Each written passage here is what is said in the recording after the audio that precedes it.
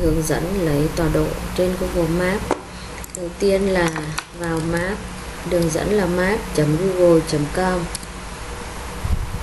sau đó trong cái ô tìm kiếm gõ địa chỉ trường cao đẳng. FPT Polytechnic Nguyễn Kiệm cơ sở 2 thì ở đây sẽ hiển thị cái tọa độ. Đây cái, cái chấm đỏ đây nè. Đấy mình bấm vào chấm đỏ này này chính, là tọa độ chính xác, tọa độ chính xác. Đấy, khi đó thì mình sẽ copy từ cái dấu amok này nè đấy, từ dấu amok này nè copy đến dấu dấu phẩy. Copy đến dấu phẩy. Đó. Thì đây chính là tọa độ. Đây chính là tọa độ chính xác. Ok.